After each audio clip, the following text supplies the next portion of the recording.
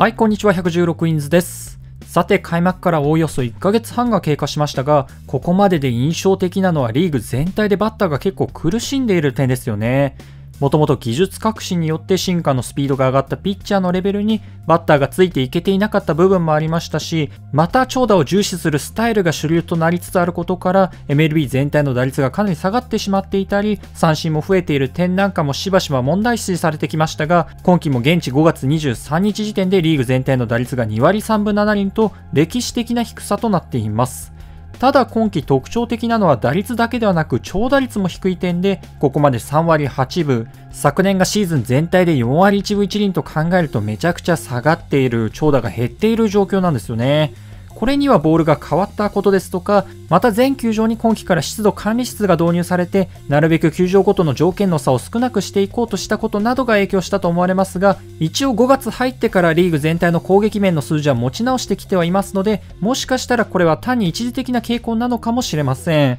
とはいえリーグとしてはインプレーの減少をかなり危惧していたところ、今は単純に長打だけが消えてしまった感じですかね。野球というスポーツにおけるバランス調整の難しさも感じるところでありますが、こういった状況から今季は一流選手であっても、なかなか調子が上がってこないという人も多く、今回はその中から何人かピックアップしてみようかなと思います。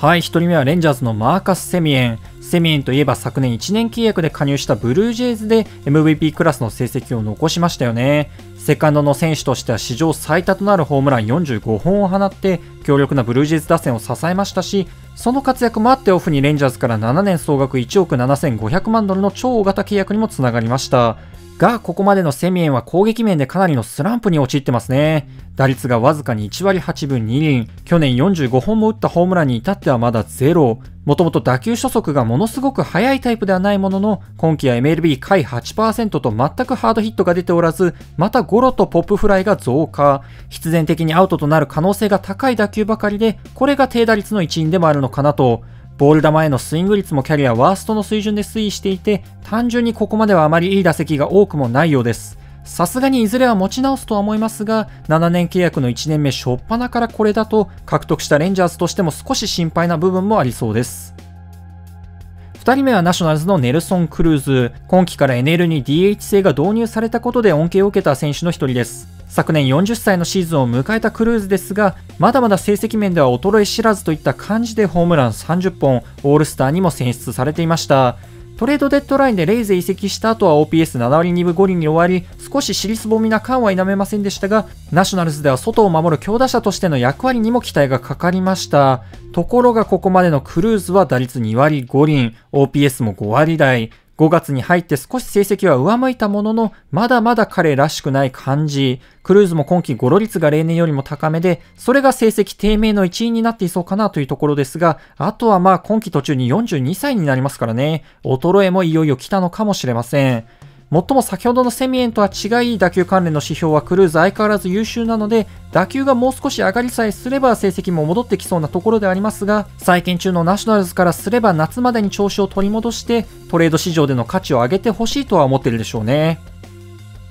3人目はドジャースのマックス・マンシー。短縮シーズンの2020年はうまくいかなかったマンシーも昨年見事に復活しキャリア最高の36ホーマー。MVP 投票でも10位に入るなど充実のシーズンを送りました。ところが今季は想像以上のスロースタートとなっていて、打率が1割5分7厘、アプローチは相変わらず優秀で39試合で31個のフォアボールを選ぶなど、出塁面でチームに貢献はできているものの、なかなか肝心のバッティングが上がってこないと、マンシーも今季スランプの多くの打者と同じようにあまり強い打球を打てておらず、また例年得意としている速球系のボールに対する攻略法をまだ見つけられていないようですね。速球系のボールに対して打率1割2分7厘と苦しんでいる状況です。ドジャースの選手層なので、マンシーの不振は特に大きな影響を与えていないのは幸いではあるものの、ドジャースが今季2年ぶりの世界一を狙うのであれば、マンシーが本調子となることは欠かせないでしょう。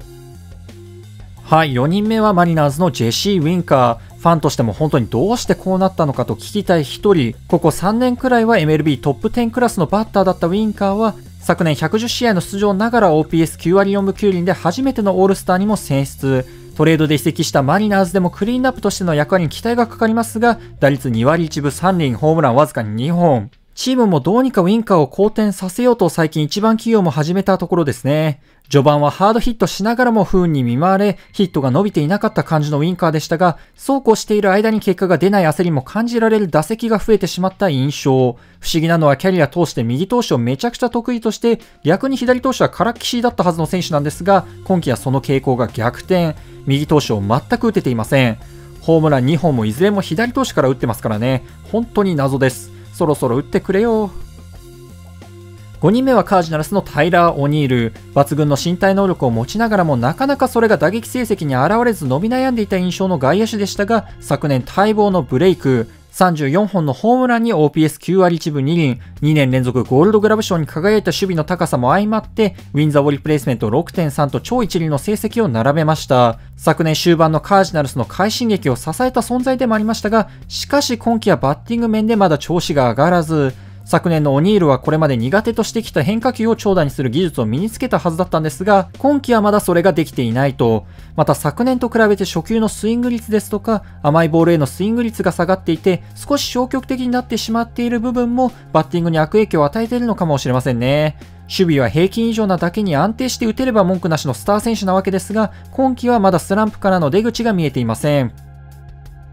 そして最後はロイヤルズのサルバドール・ペレス。昨年はキャッチャーメインの選手ながら DH での出場もうまく混ぜて、ほぼフルシーズンの161試合に出場し、ホームラン48本。途中、大谷選手やゲレーロジュニアと激しいホームラン王争いを繰り広げ、最終的にはゲレーロジュニアと共に MLB のホームラン王に輝きました。パワーヒッターの少ない昨年のロイヤルズ打線にあって数少ないパワーソースでもありましたよね。しかし今季のペレスは34試合でホームラン6本、打率も2割6厘、昨年の彼と比べて長打になりやすいとされるバレルの打球の割合が、まあ、少々低めというのと、あとは先月視界がぼやけると訴えて目のレーザー手術も受けてもいましたので、そもそもの問題としてボールがあまり見えていなかったというのもあるかもしれません。現在は親指を痛めてアイルに入っているペレスですが、復帰後昨年のようにハイペースでホームランを量産することはできるのでしょうかということで6人挙げてきましたが、まあ、このレベルの選手でもなかなか調子が上がらないあたり、バッターをめぐる今の環境の厳しさも伝わってきます。もちろんそんな中でも何事もなかったかのように変わらず MVP クラスの成績を並べるマイク・トラウトさんみたいな人もいるわけですが、まあそれはそれとして今調子の悪い選手たちもシーズン中盤、夏場に向けて成績を上げることはできるでしょうかということで今回の動画は以上としたいと思います。今後もですね、メルビーに関する動画を上げていきますので、興味のある方ぜひチャンネル登録していただけると幸いです。それではご視聴ありがとうございました。